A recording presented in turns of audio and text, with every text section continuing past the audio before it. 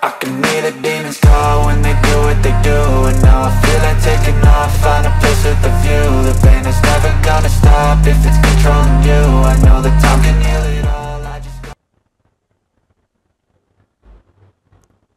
សួស្តីបងប្អូនតោះឥឡូវយើងបន្តមេរៀនយើងទៀត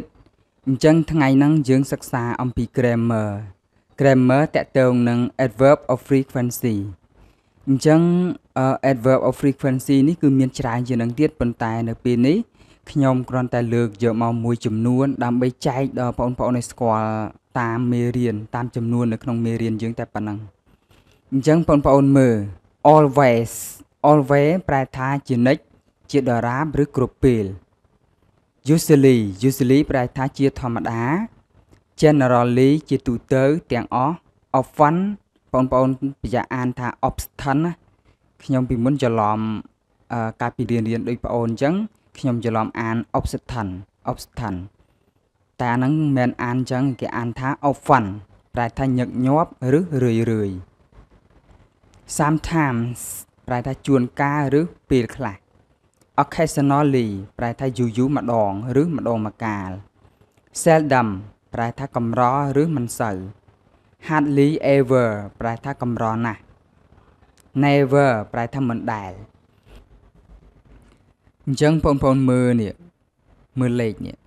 លេខនេះគឺជាចំនួនភាគរយបានន័យថា សកម្មភាពដែលយើងបានធ្វើជាញឹកញាប់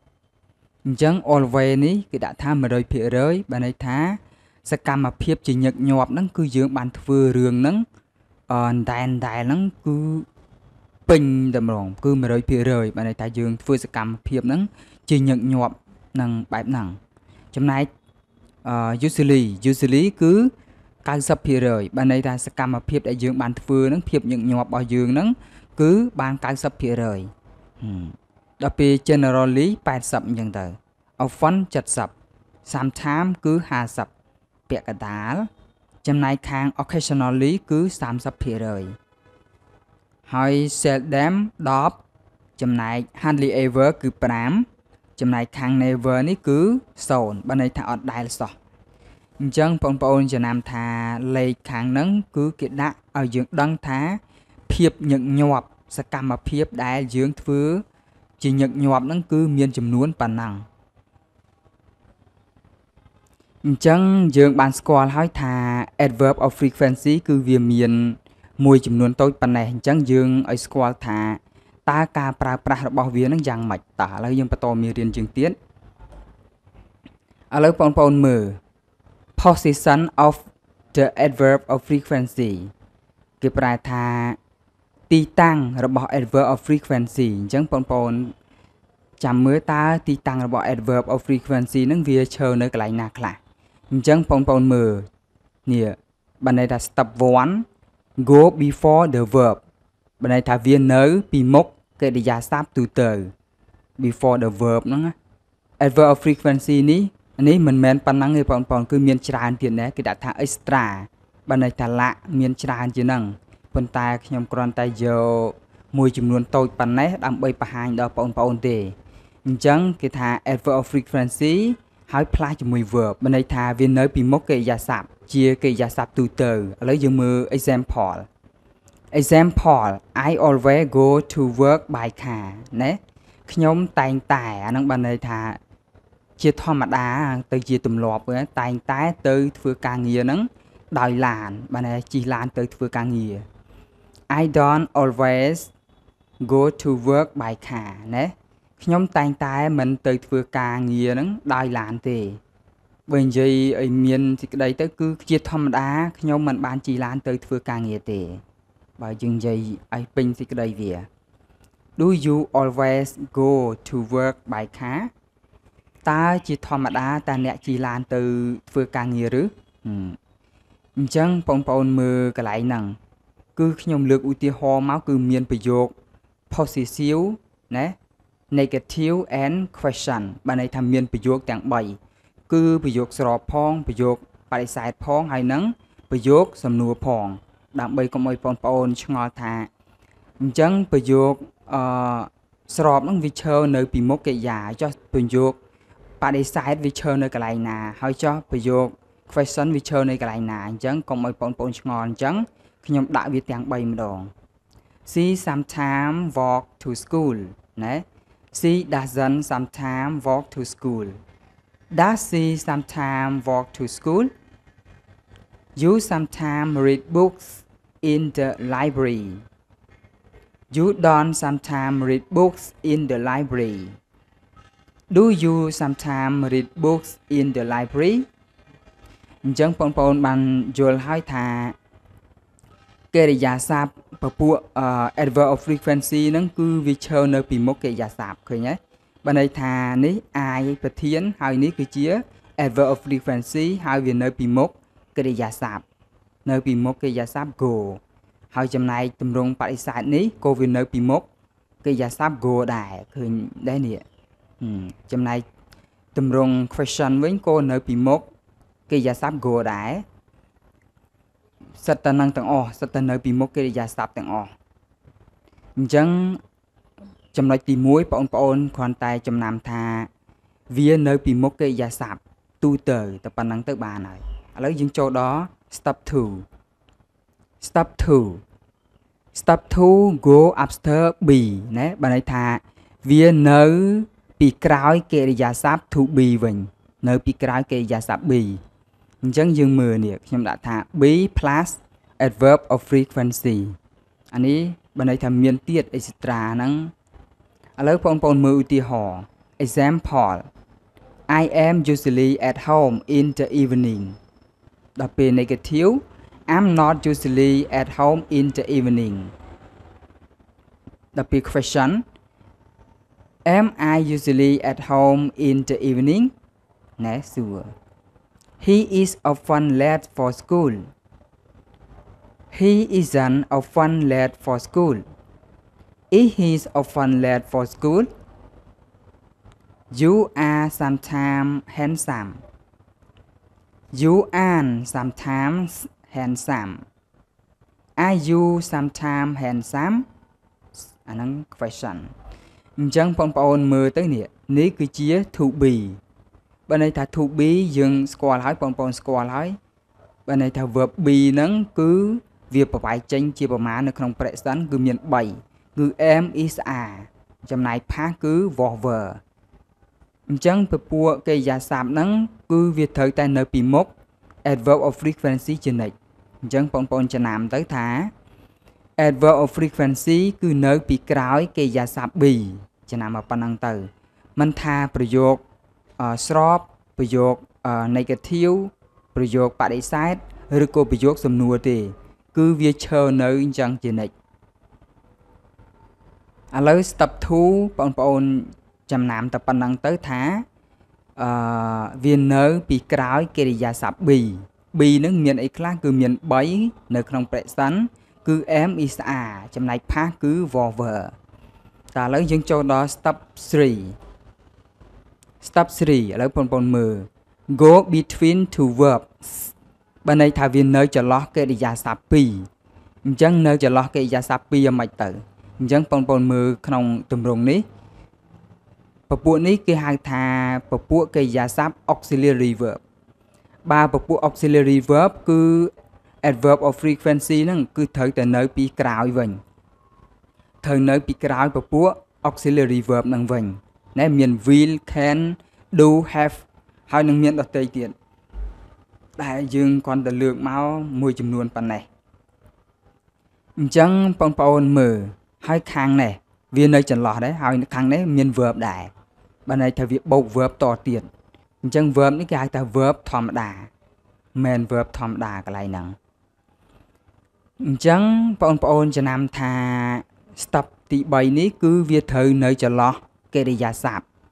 កិរិយាសព្ទ2ព្រោះខាងនេះក៏កិរិយាសព្ទចំណែកខាងនេះក៏កិរិយាសព្ទដែរអញ្ចឹងបងប្អូនមើលឧទាហរណ៍តា example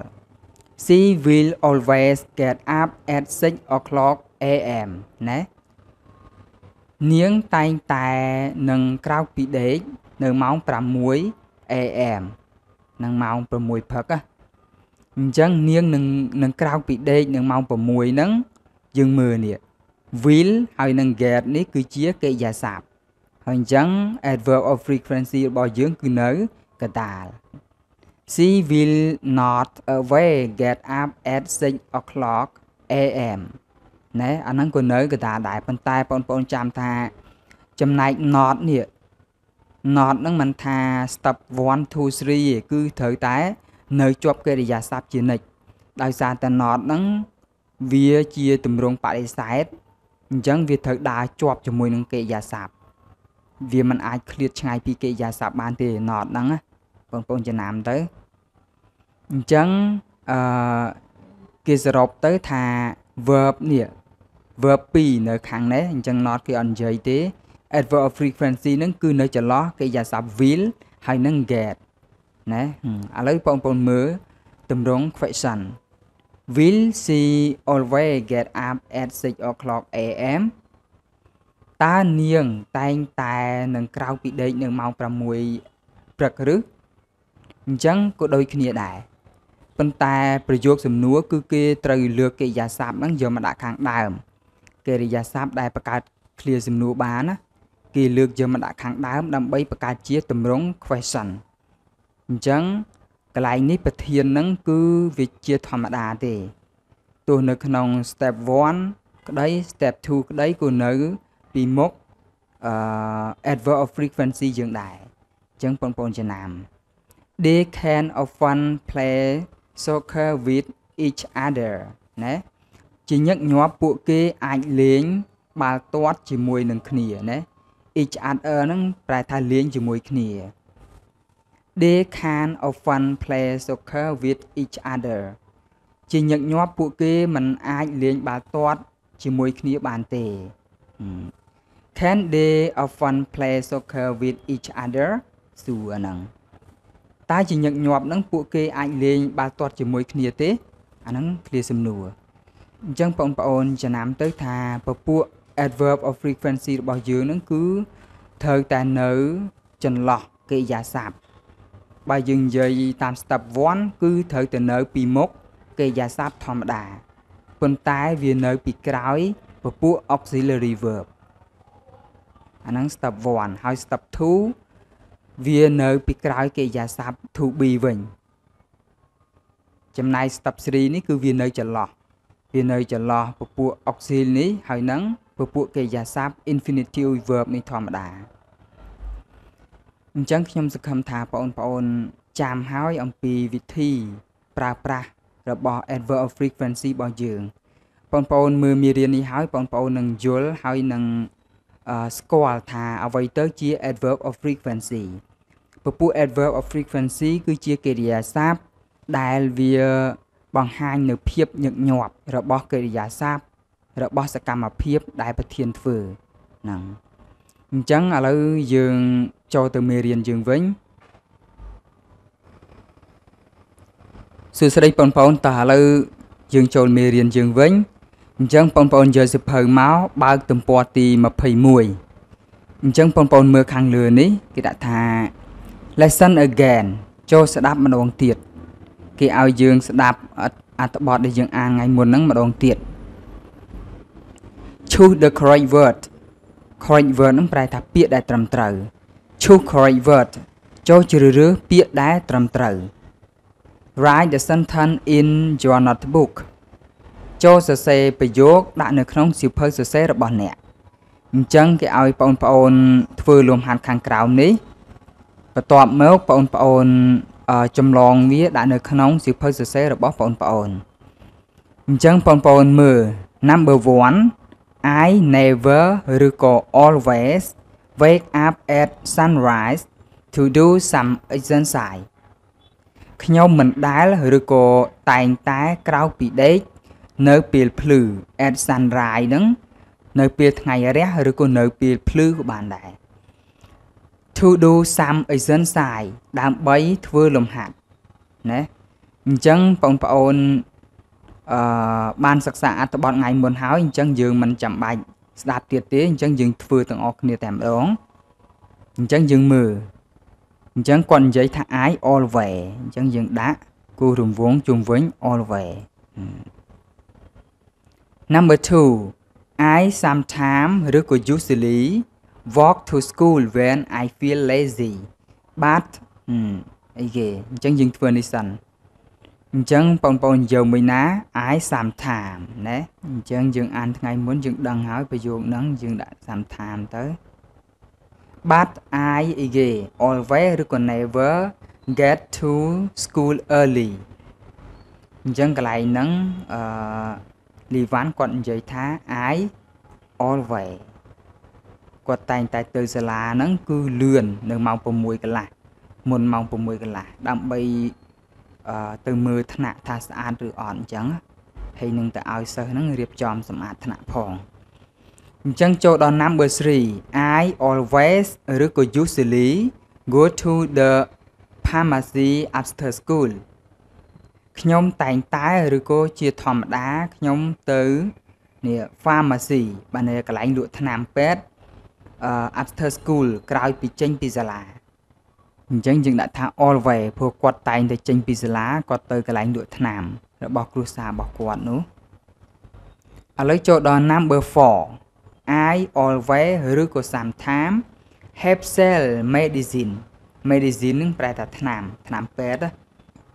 គាត់ថាខ្ញុំមិនដែរឬក៏ពេលខ្លះខ្ញុំទៅជួយលក់ថ្នាំពេទ្យអញ្ចឹងយើងដាក់ថា sometimes ព្រោះលីវ៉ាន់ជាធម្មតាគាត់ទៅជួយលក់ថ្នាំអឺ គ្រួសាររបស់គាត់ព្រោះគ្រួសាររបស់គាត់ឪពុកម្ដាយគាត់ជា អ្នកលក់ថ្នាំពេទ្យជាពេទ្យឥឡូវចូលដល់ number 5 I always ឬក៏ sometimes go to the market for lunch ណាអានឹងប្រយោគពីណាគេនិយាយបើគាត់ទៅផ្សារអូសម្រាប់អាហារពេលថ្ងៃគាត់ទៅផ្សារញ៉ាំអាហារពេលថ្ងៃត្រង់ជាមួយម៉ាក់របស់គាត់នោះហើយនឹងលក់ខោអាវផងនោះពីណាគេ គឺពីស័យអញ្ចឹងកាលនោះពីស័យគាត់គាត់និយាយថាម៉េចគាត់និយាយថា always ឬក៏ sometimes គាត់និយាយថា always ព្រោះគាត់និយាយថាគាត់តែងតែទៅផ្សារហ្នឹងទៅជួយលក់សម្លៀកបំពាក់ម្ដាយរបស់គាត់ នៅពេលដែលគាត់ចេញពីសាលា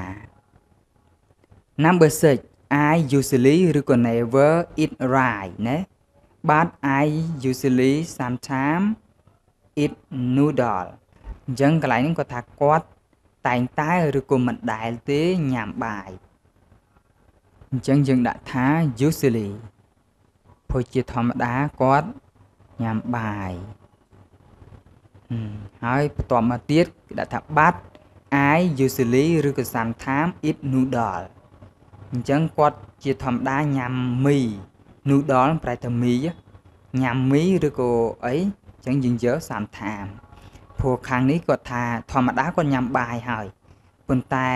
ពេលខ្លះគាត់ញ៉ាំមីដែរអញ្ចឹងយើងដាក់ sometimes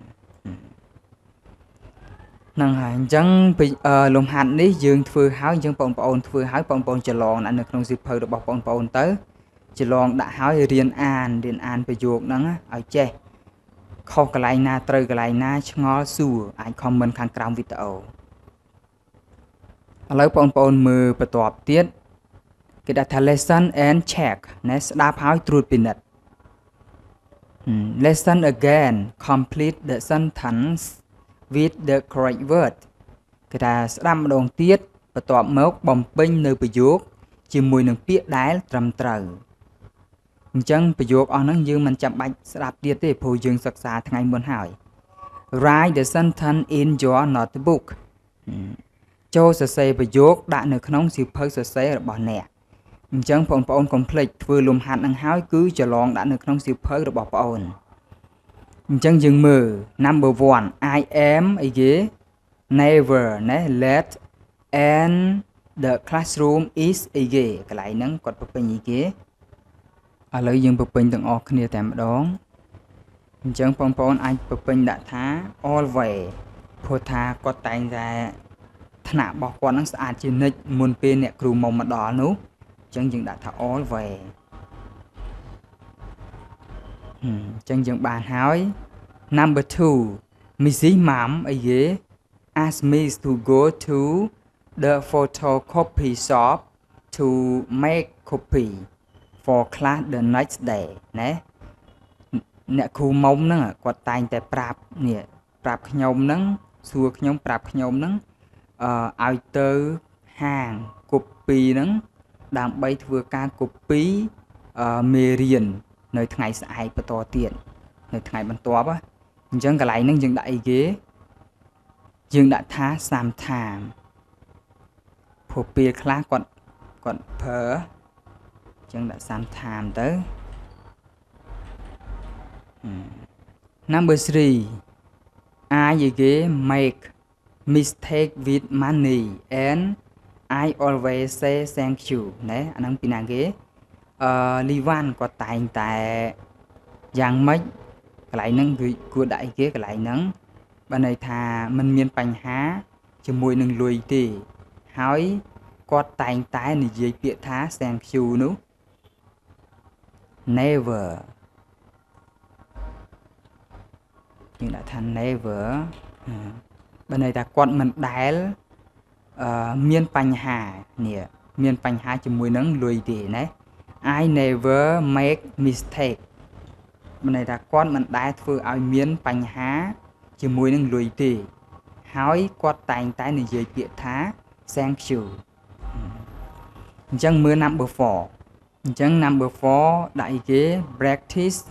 playing cloy ខ្លុយប្រើខ្លុយបងប្អូនអឺ traditional Cambodia instrument ណាអញ្ចឹងអាហ្នឹងគាត់ថាម៉េចហើយគាត់តែងតែអនុវត្តនៅការលេងខ្លុយគឺជាវត្ថុនៃ instrument ហ្នឹងប្រែថាឧបករណ៍អឺរបស់កម្ពុជាយើងឧបករណ៍បុរាណរបស់កម្ពុជាយើងឧបករណ៍ភ្លេងនេះខ្លុយហ្នឹងអញ្ចឹងកន្លែងនេះដាក់ថា sometime ព្រោះគាត់ ពេលខ្លះគាត់លេងអញ្ចឹងពេលទំនេរ sometime ថែម s ផងបងប្អូនអឺកន្លែងនេះអត់មាន s អញ្ចឹងយើងដាក់ s ផងថែម s ទៅអញ្ចឹងចូលដល់ number 5 number 5 I get very bored បនប្រែថាអោបសុក at the market ណា at the market បាត់អាយគេកន្លែងនេះឥឡូវយើងឈប់អាចធ្វើនេះយើងធ្វើនេះសិនអញ្ចឹងនៅទីផ្សារគាត់មិនដែលទេគេគាត់ដាក់ថាម៉េចកន្លែងហ្នឹងយើងដាក់ថា sometime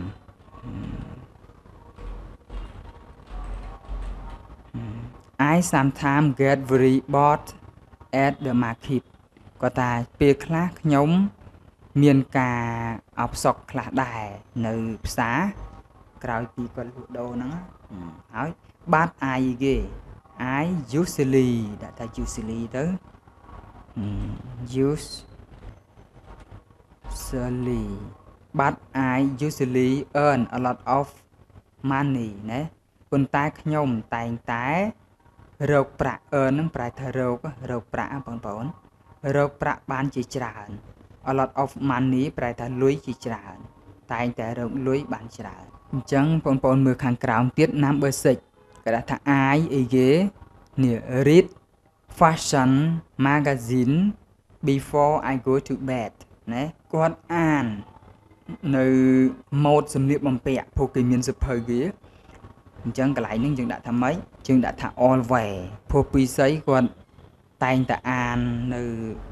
ស្រាវជ្រាវនៅគេហៅថាម៉ូដទំនើបទំនើបជានិច្ចអញ្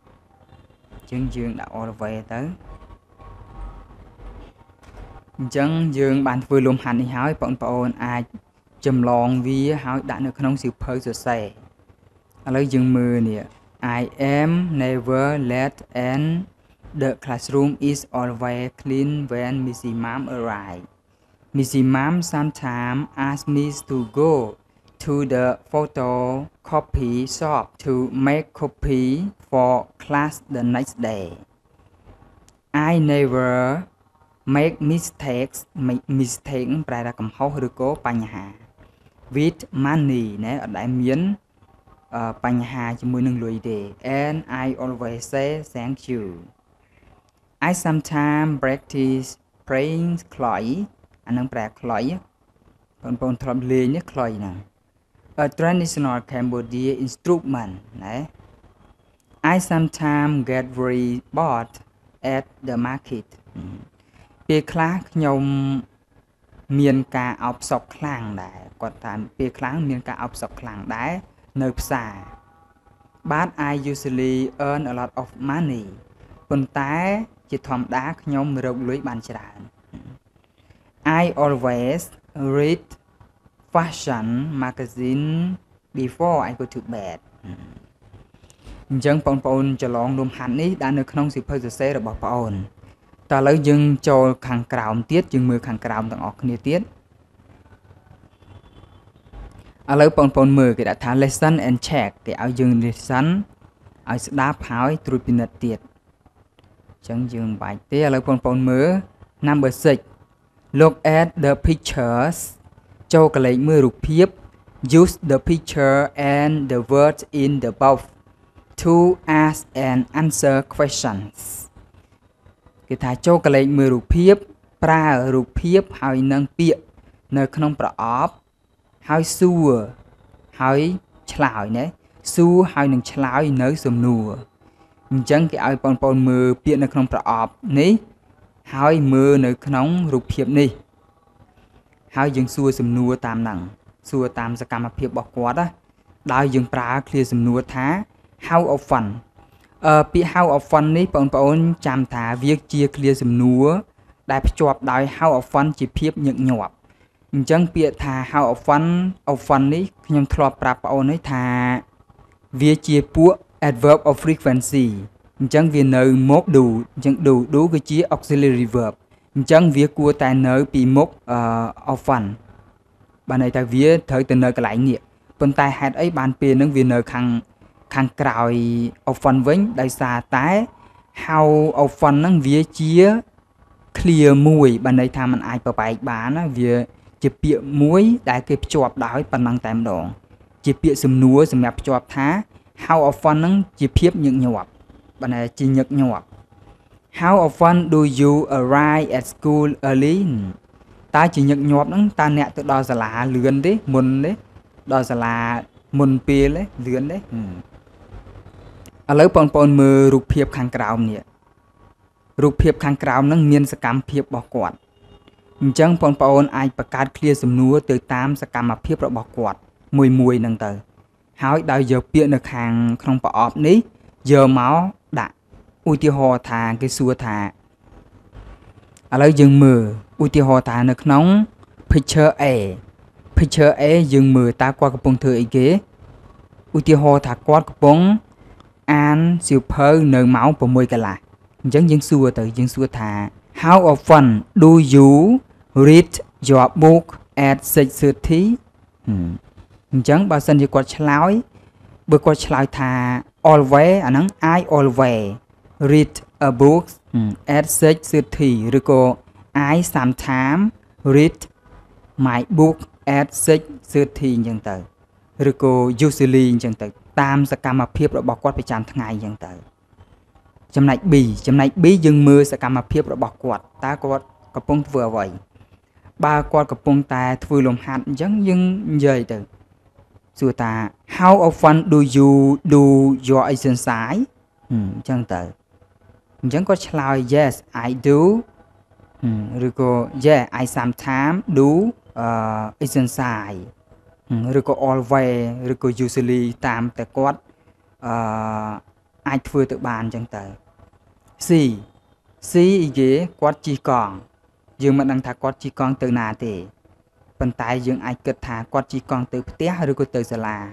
ឧទាហរណ៍ថាទៅផ្ទះ អញ្ចឹងយើងអាចនិយាយថា how often do you ride your bicycle go home យើងអាចនិយាយសួរគាត់អញ្ចឹងបាន ហើយគាត់និយាយវិញ I usually I always ឬក៏ I sometimes អញ្ចឹងទៅ picture D picture D យើងសួរទៀតតើគាត់កំពុងធ្វើអីហ្នឹងកំពុងតែរំលឹកមេរៀនអញ្ចឹងយើងសួរទៅ How often do you review your lesson តើជាញឹកញាប់ហ្នឹងតើអ្នករំលឹកមេរៀនរបស់អ្នកឬដល់ពេលគាត់ឆ្លើយទៅតាម សកម្មភាពរបស់គាត់ប្រចាំថ្ងៃបើគាត់ធម្មតាគាត់ប្រើ always ទៅឬក៏ usually អញ្ចឹងទៅឬក៏ sometime អញ្ចឹងទៅទៅតាមអ្វីដែលគាត់អាចធ្វើទៅបានអញ្ចឹងបងប្អូនកលេចមើលខាងក្រោមនេះគេដាក់ថា think of some more question to ask your partner ណាគេថាគិត គិតអំពីសំណួរគិតអំពីពាក្យមិញហ្នឹងនេះគិតនៅសំណួរមួយចំនួនខ្លះទៀតបន្ថែមទៀតគេឲ្យយើងគិតឲ្យបង្កើតឃ្លាសំណួរបន្ថែមទៀតហើយសួរនៅដៃគូរបស់អ្នកណាអញ្ចឹងបងប្អូនគិតហើយសួរទៅដៃគូរបស់បងប្អូន How often do you នេះណាប្រើពាក្យហ្នឹងអញ្ចឹងមេរៀននេះវាអត់មានអីទេបងប្អូន យើងបានចប់ទំព័រទី21ហើយអញ្ចឹងមេរៀនទំព័រនេះយើងបានចប់ហើយអញ្ចឹងបងប្អូនអឺមើលឡើងវិញទៅតើកន្លែងណាមិនច្បាស់មិនយល់អីបងប្អូនអាច comment សួរខាងក្រោមវីដេអូខ្ញុំនឹងឆ្លើយ comment របស់បងប្អូនជានិច្ចអញ្ចឹងយើងសម្រាប់នៅត្រឹមនេះសិនចាំជួបគ្នានៅវីដេអូក្រោយទៀត